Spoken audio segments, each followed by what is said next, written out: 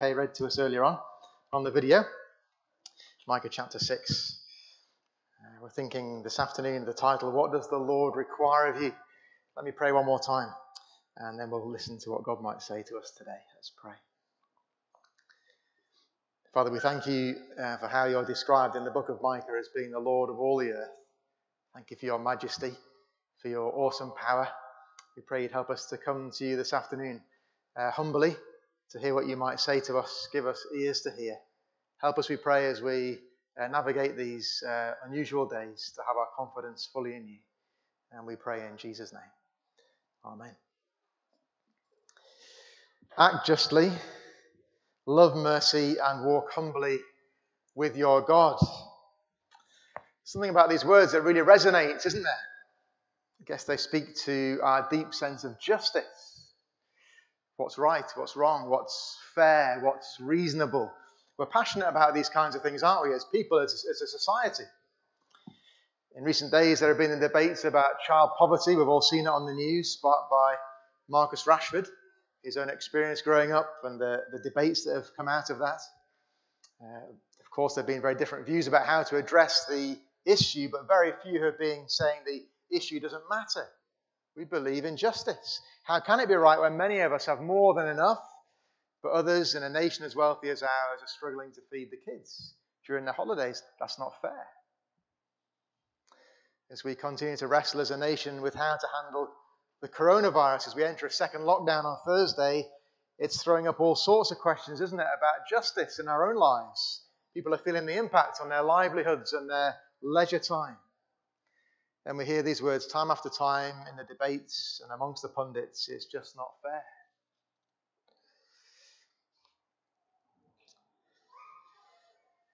Act justly, love mercy, walk humbly with your God. We're drawn to those words, aren't we, because of our innate sense of justice. But there's another reason why these words are so compelling to us, and it's this you see, these words are the answer to one of the most fundamental questions that everyone in our world asks at some point in their lives. Take a look again at the verse in its entirety. He has shown you, O mortal, what is good. And what does the Lord require of you? To act justly, and to love mercy, and to walk humbly with your God. You see, these profound words are the answer to a profound question. What does the Lord require of you? In other words, what does God want from me? What can I do to please Him? What can I sacrifice to satisfy Him? What ritual can I perform to appease Him? What good can I do to placate Him? That is to turn away His anger. People come up with all sorts of different answers to that question, but the question is there for all of us. Maybe it's a question on your mind this afternoon. Let's briefly look at four things from this passage. First, the big question what does God want? What does He want from us? Let's just pause and find our feet for a minute in the Bible. Where are we? What's going on in the context here? Well, God is speaking to His people through His prophet Micah, who is sent to the two big cities of the day, Jerusalem and Samaria. We're told why He's sent in chapter 3, verse 8 to declare to Jacob his transgressions, to Israel his sin, Micah hasn't got an easy job, has he? Pointing out the faults and the failings of God's people. This is all happening about 100 years before the Babylonians or Babylonians will sweep into the southern kingdom, take God's people into exile. During Micah's lifetime, he will see the northern kingdom attacked by the Assyrians who will come in and take control. So there we are. That's the, the backdrop to what's going on here in the book of Micah. And so we come to this question what does God want? Well, of course, he articulates something of an answer there in chapter 6, verse 8. But before we get to these kind of famous words, we've got to see God really wants something much more basic, something much more simple from his people. There are three sections in the book of Micah, if you study this book, three distinct sections, and each section begins with exactly the same word. You can find it if you want to look later in chapter 1, verse 2, in chapter 3, verse 1, and chapter 6, verse 1. Take a look at chapter 6. It's probably open before you there. The first verse says, Listen to what the Lord says. See, in each of the three sections of Micah, we see that he speaks of a terrible judgment that's to come, but also an incredible salvation. And if the people who hear this prophecy are going to understand anything of this, well, they've got to respond to the most basic command first to listen. Simply to listen to God, to hear His words. So here's the first challenge for us this afternoon. Friends, are we simply ready to listen to God? Do we come with a sense of anticipation before His word, with a willingness to humble ourselves before Him, to listen to what He's going to say to us? Maybe some of you sitting there thinking, well, why should we? Plenty of people outside this church building right now saying, why on earth would I want to? Listen to God. Isn't God's word a total irrelevance these days? Striking, wasn't it, last night as the Prime Minister shared the list of activities impacted by the new lockdown? There was no mention at all in the speech about places of worship, was there? No mention. You had to wait till the announcement came out in more, in more detail later that evening, look down, further down the list, and there it is. Why is that? Well, who knows for sure, but maybe because most of society sees the gathering Christian people as a total irrelevance. Why would they make a point of mentioning it? And so, therefore, why would we bother listening to God with such devotion and such seriousness? I wonder, do you know what the name Micah means? The name Micah really is a question who is like the Lord? The great claim of the Bible is that there is no other God like him. He is the Lord of all the earth. Chapter 4, verse 13. Therefore, when he speaks, he, he demands a listener. He has all authority, all power. Here is a God who knows, who, who sees, who intervenes. And so, friends, we must listen to him. We've got to hear him on his terms, not our own terms. What does God want?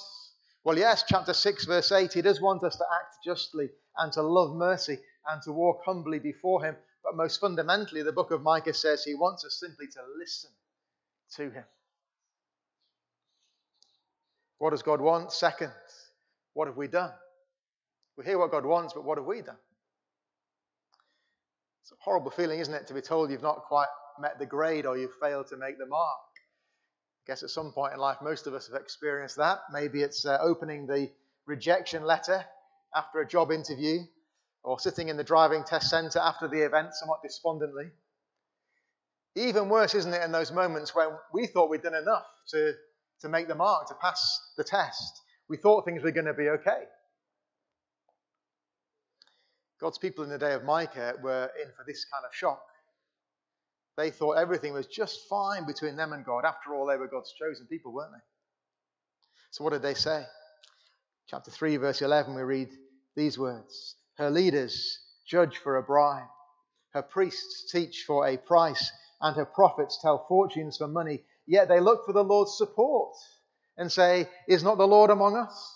No disaster will come upon us. They thought they were secure. They thought, what could possibly go wrong? We can live how we like. We're God's chosen people. He'll love us anyway. God can't be angry with us. Yet for those who were willing to listen, they'd soon see how wrong they were. Chapter 3, verse 8, God says he will declare his people's transgressions. In chapter 6, verse 2, very sobering, he says he will make a case against his people. He will lodge a charge against Israel. And as we read through the book of Micah, we see what that charge is. He says, I asked you to act justly, but you've despised justice and distorted all that is right. Chapter 3, verse 9. I asked you to love mercy, but you've just been selfish and used people for your own ends. Chapter 2, verses 1 and 2. I asked you to walk humbly before me as your God, but you've, you've turned to idols. And you've taken other people with you. Chapter 3, verse 5. Well, that was then, in the day of Micah, but this is now. In Micah 6, verse 12, it speaks of the violence of rich men. Today, around the world, we're told that around 2 million children are exploited in the commercial sex industry. Two million. In Micah chapter 2, verse 2, people take possessions and homes from others simply because they are powerful enough to do so. Today, around the world, we're told that more than 45 million men, women, and children are held in modern day slavery. In Micah chapter 3, verse 9, God's people have been given a message to share, but they fail to share it. Today, around the world, 80% of Muslims, Buddhists, and Hindus have no Christian friend. Their lack of access to the gospel is a grave injustice. And this isn't just a challenge, is it, for people out there, somewhere out there in a generic sense? If we look close to home, well, what do we, what do we see? What do we feel? We love the idea of justice, don't we? We love it. We love the idea of justice. We value it. Yet, isn't it true too often we turn a blind eye when it's others who are facing the injustice? We love the idea of mercy. Yet, I wonder, aren't we all too happy sometimes to be mean to the person working all hours for little pay in the factory in Bangladesh if it means we can get cheap clothes in the shops here in England? We love the idea, the concept of walking humbly before our God. But isn't it true so often we're way too keen to show the world around us just how self sufficient and able we are to make ourselves look good? God said to his people in the day of Micah there were consequences if they went on living in that way. Micah 3, verse 4 Then they will cry out to the Lord, but he will not answer them. At that time, he will hide his face from them because of the evil they have done. Friends, God is serious about our sin, isn't He? He sees our lack of justice and our lack of mercy and our lack of walking humbly with Him, and He witnesses against it. He makes a case against us, and if nothing changes, we face His judgment because of it. What does God want? He wants us to listen to Him, He wants us to act justly, to love mercy, to walk humbly before Him. Yet, friends, we've got to ask the question what have we done? So, what's the remedy? What's the remedy? Well, some will say we just need a bit more of Micah chapter 6, verse 8 in our lives. We just need to try harder to act justly. We need to try harder to, to love mercy. We need to try harder to walk humbly before our God. Maybe we can do a better job of it, and maybe we'll be okay in the end. But if that's the road we go down, friends, we just end up in some horrible cycle. We end up like hamsters in a wheel. We, we, we do a bit more, we try harder, then we mess it up again. So we do a bit more and we try harder, and we, we mess it up again. So we do a bit more and we try harder. And you see how it goes, and we go round and we go round and we go round. It's like all of the religions out there.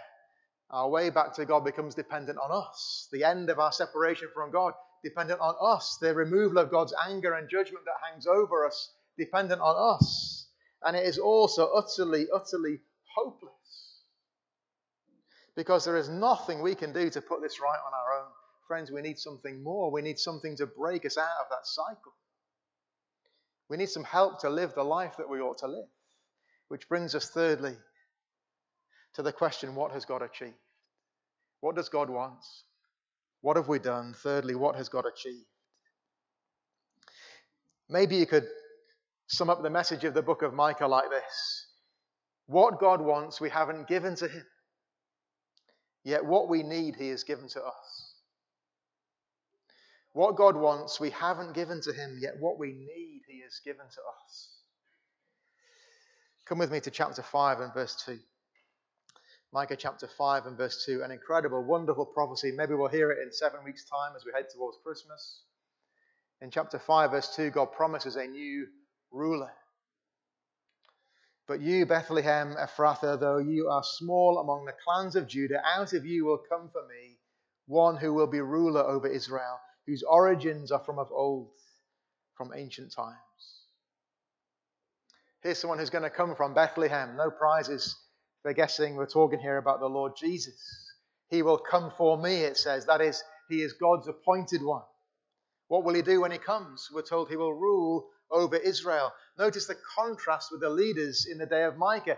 We're told in the book of Micah they cared nothing for God's people. They led them into idolatry. They caused them to sin. They left them without hope. They took advantage of the people. Yet God's ruler will come, chapter 5, verse 4, and he will stand and shepherd his flock in the strength of the Lord, in the majesty of the name of the Lord his God.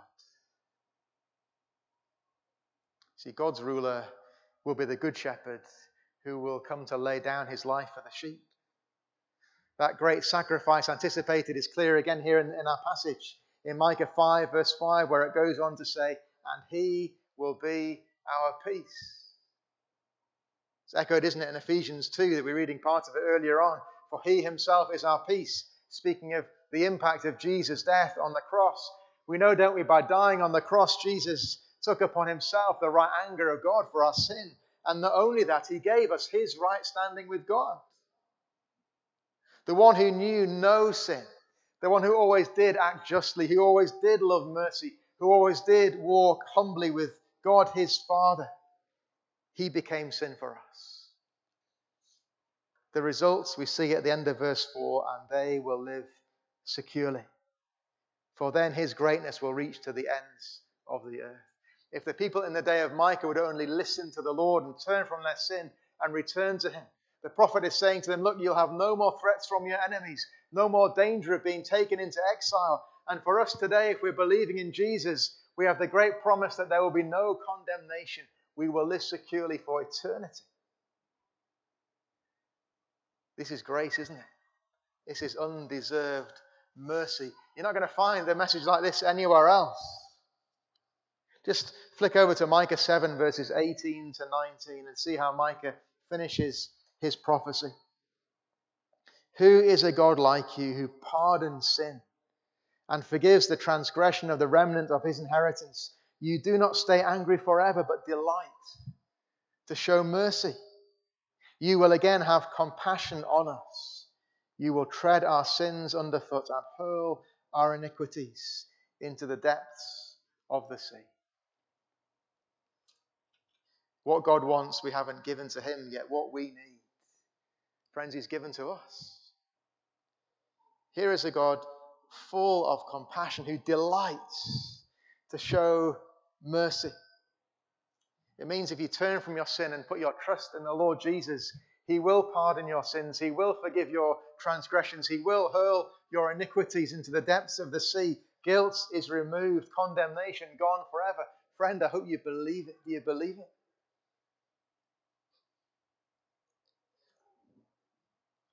Maybe you're sitting there thinking, sounds a bit too good to be true. Can it really work like that? Don't deserve that. Maybe you're sitting there thinking, you don't know what I'm really like. You don't know what I've really done. Isn't there someone else who one day will pop up, who will appear and keep on accusing me of the things that I know I've done wrong?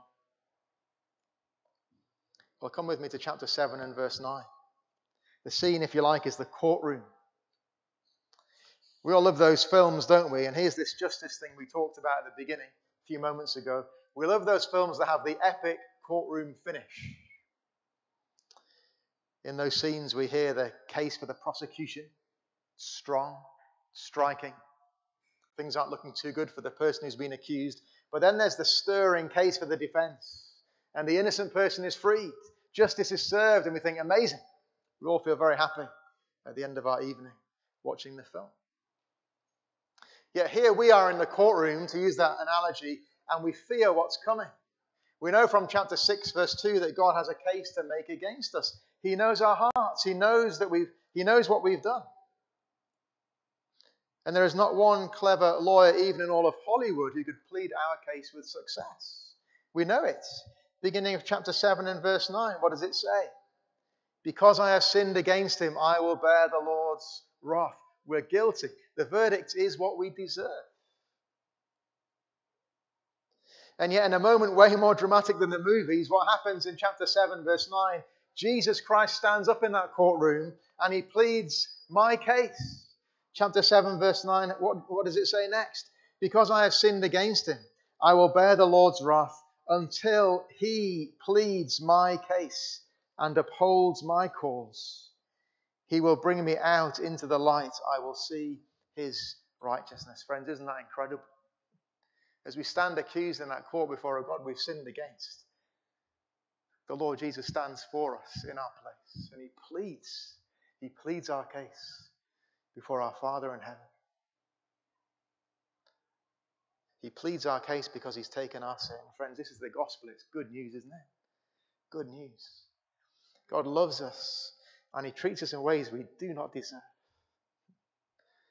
What God wants, we haven't given to Him yet. What we need, He has given to us. Let's read again, chapter 7, verses 18 and 19. Who is a God like you, who pardons sin and forgives the transgression of the remnant of His inheritance? You do not stay angry forever, but delight to show mercy. You will again have compassion on us. You will tread our sins underfoot and hurl all our iniquities into the depths of the sea. Praise God. What does God want? What have we, what have, what have we done? What has God achieved? Fourthly, a few concluding thoughts on justice and mercy. Let's go back to where we started. Micah chapter 6, verse 8. What does the Lord require of you? To act justly, to love mercy, and to walk humbly with your God. We've seen and we know, don't we, if we're honest, we've so often failed to live up to those stirring words. So is that it then?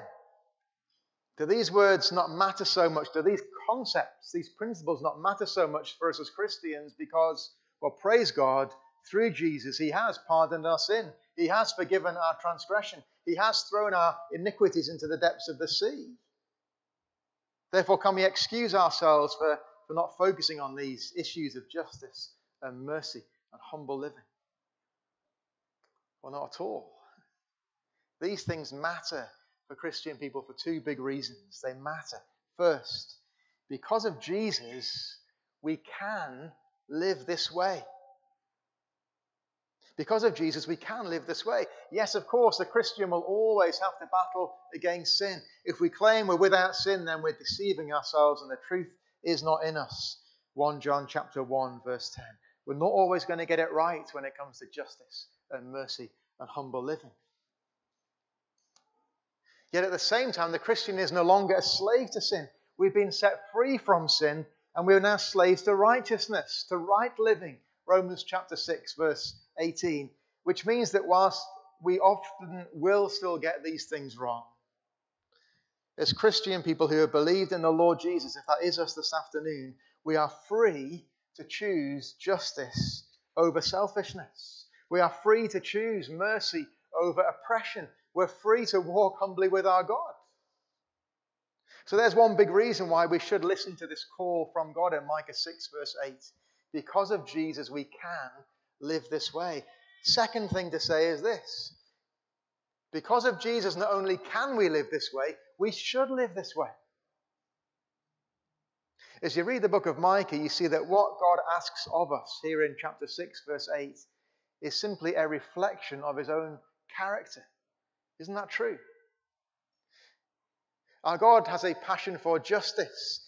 He never leaves sin unpunished, chapter 1, verse 3. He never looks away when the needy are oppressed, chapter 6, verse 12. And when it comes to mercy, well, what have we already seen? Chapter 7, verse 18, he delights to show mercy. He shows it even to sinful people like us, and he does so at the greatest cost the death of his only Son, the Lord Jesus. Friends, this is the character of our God. These things matter to him.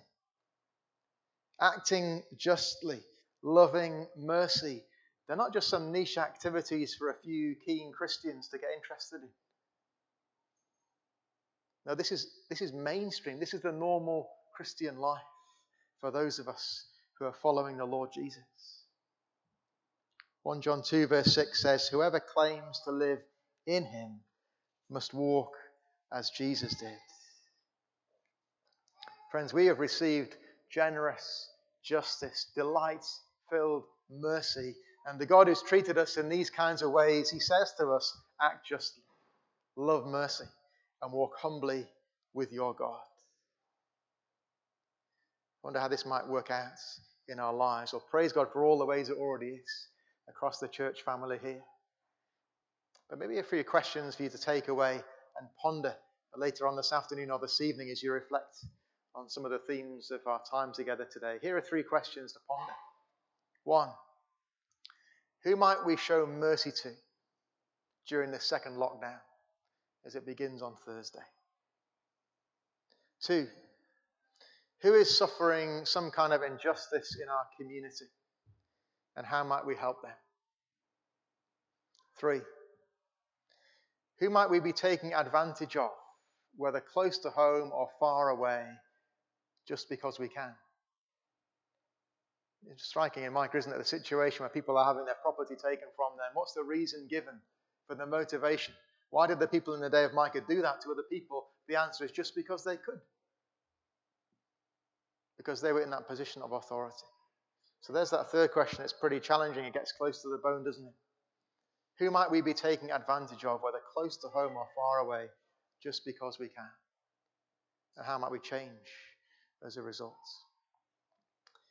If you want to explore some more of these issues about justice and mercy, you might want to check out websites of groups like the International Justice Mission, or ministries of groups like Compassion or Caring for Life. Some people in our church family involved in some of those ministries too. You can Google some of those later if they're new to you and just chew it over. Talk to people about some of these things. What does the Lord require of you? To act justly and to love mercy and to walk humbly with your God. Friends, if we're Christian people this afternoon, because of Jesus, this is what we can do. We can live this way. And because of Jesus, this is what we must do. Let's pray together. Let's pray. Father in heaven, we, we give you great praise that even though we have not been able to do what you've asked of us, we praise that you have done for us what we needed. Father, we thank you so much for such generous mercy, undeserved. We thank you for these great promises of guilt removed and of our sins hurled into the bottom of the sea if we turn from our sin and put our trust in the Lord Jesus Christ. And Father, we pray that uh, as we as we do that, as we are made uh, new creations where the old has gone and the new has come, Father, please help us to live the freedom that we have to, to act justly and to love mercy and to walk humbly before you. Help us, we pray, as we as we work out what this means in our lives. We praise you for the ways these these characteristics are manifested across our church family, and for the many people who are served in these ways because of it. We pray to you, go on challenging us and changing us about other areas of our lives where we need to uh, uh, rethink and refocus, that we would reflect something of your character in the way we treat other people and live before you. And we pray all these things in Jesus' name. Amen.